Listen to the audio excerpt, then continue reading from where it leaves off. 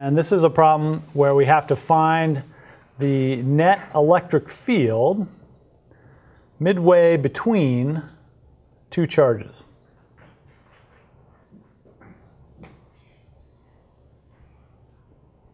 Okay, and let's give you some numbers here and a picture.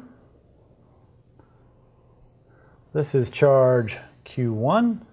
This is charge Q2. We are a distance midway between, and we'll call the total distance L. And let's give you some numbers here. So Q1 is going to be 5 microcoulombs. Q2 is negative 3 microcoulombs. And L is equal to 6 centimeters. Okay, and we want to find the E field right in the center, right there, midway between. Okay, how do we do this? Well, E fields are vectors, and we can use the principle of superposition to figure out what the E field is right here. And the E field is going to consist of two E fields, E1 and E2. And so all we have to do is figure out what the E field is due to Q1, what the E field is due to Q2, make sure we get the directions right, and add them up. So let's do two different problems. We'll do Q1,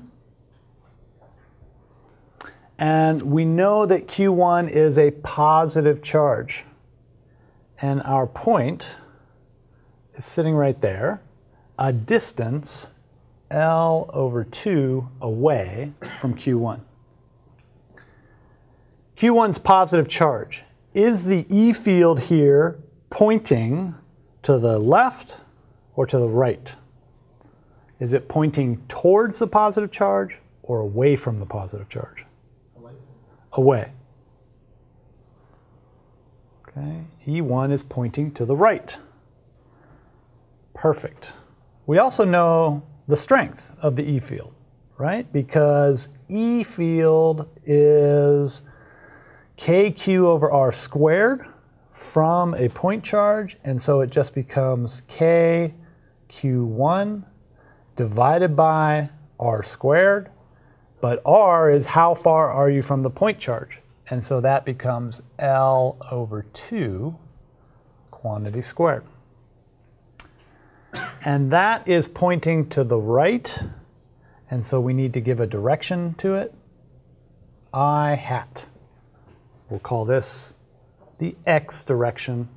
So to the right is positive. That's an I hat. All right, what about the E field due to Q2? Q2 is sitting right there. Our point of interest is now to the left of it, a distance L over 2 away. And we said that Q2 was negative, right? Q2 is a negative charge, so we put a little negative sign right there.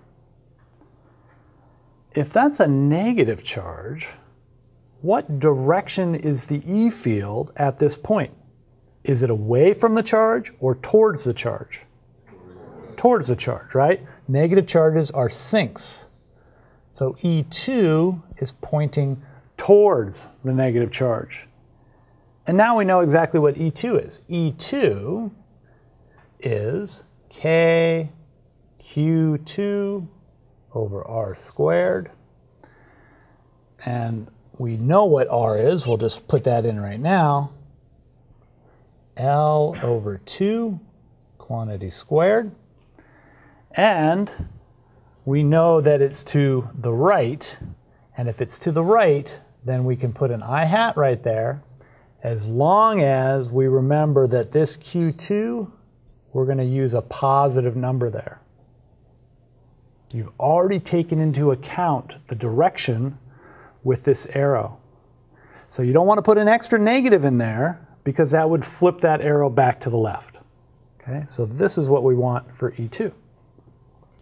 Okay, so here we go. We've got charge Q1 gives us a field E1.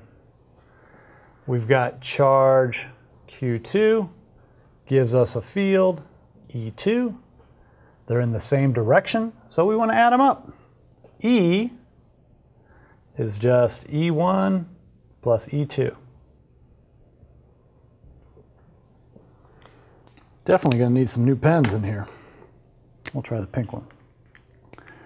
Okay, and now we know what those are. E1 is K, Q1, divided by L over 2, quantity squared. That is in the I hat direction. E2 is K times the magnitude of Q2 divided by L over 2, quantity squared. Both of those are in the same direction, I hat. And now we have some nice common factors here. We have K in both of those. We have L over 2 quantity squared in both of them.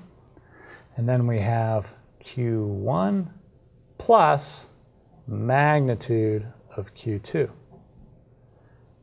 I hat. Okay, and now let's put in those numbers and see what we get. What did we have for, well, K is 8.99 times 10 to the 9. What did we have for L? Six centimeters. So in SI units, that's 0.06. We're going to divide that by 2, and then we're going to square the whole thing. Q1 was five microcoulombs, is that right? Okay. Five times 10 to the minus six. And Q2 was negative three. So since we're doing the magnitude, it's going to be positive three times 10 to the minus six. And then all of that is still multiplying I hat. And now, once you guys plug this in to your calculators and tell me what you get. I will approximate it here. Okay, which is a good exercise. You should go through this yourself because it's good to have these skills. So that's a 9 times 10 to the 9. We're going to multiply by 8 times 10 to the minus 6. And then we're going to divide by 0.03 squared, which is 3 times 10 to the minus 2 quantity squared. All right. Uh, 9 times 8 is 72. We have a 10 to the 9 and a 10 to the minus 6, so that's a 10 to the 3. Downstairs we have 3 squared, which is 9. 10 to the minus 2 squared is 10 to the minus 4. So 72 over 9, we just went backwards. It's 8 times 10 to the 7 in the I hat direction. So that's my guess. What did you guys get? That's the answer? Okay, good. 8 times 10 to the 7. And so the strength of the electric field is the number out in front. 8 times 10 to the 7. And the SI units are volts per meter. And the direction is I hat, which in our picture is towards the negative charge.